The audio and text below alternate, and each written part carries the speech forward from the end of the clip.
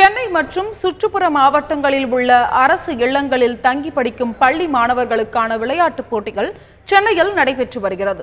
நேரு விளையாட்டு மைதானத்தில் நடைபெற்ற நிகழ்ச்சியில் உயர்நீதிமன்ற நீதிபதி மணிக்குமார் ராஜீவ் சக்தார் மாலா மற்றும் ஓய்வு பெற்ற நீதிபதி அக்பர் அலி ஆகியோர் துவங்கி வைத்தனர்.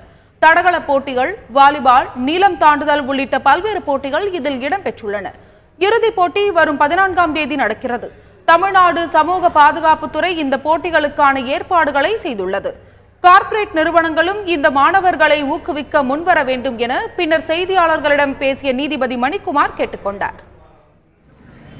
இதிலே நாங்கள் முக்கியமாக என்ன விரும்புகின்றோம் என்றால் இதில் கார்ப்பரேட் செக்டர்கள் கம்பெனிகள் அனைவரும் முன்வர வேண்டும்.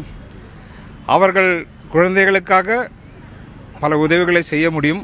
அவர்கள் செய்ய வர வேண்டும் என்று கேட்டுக்கொள்கிறேன்.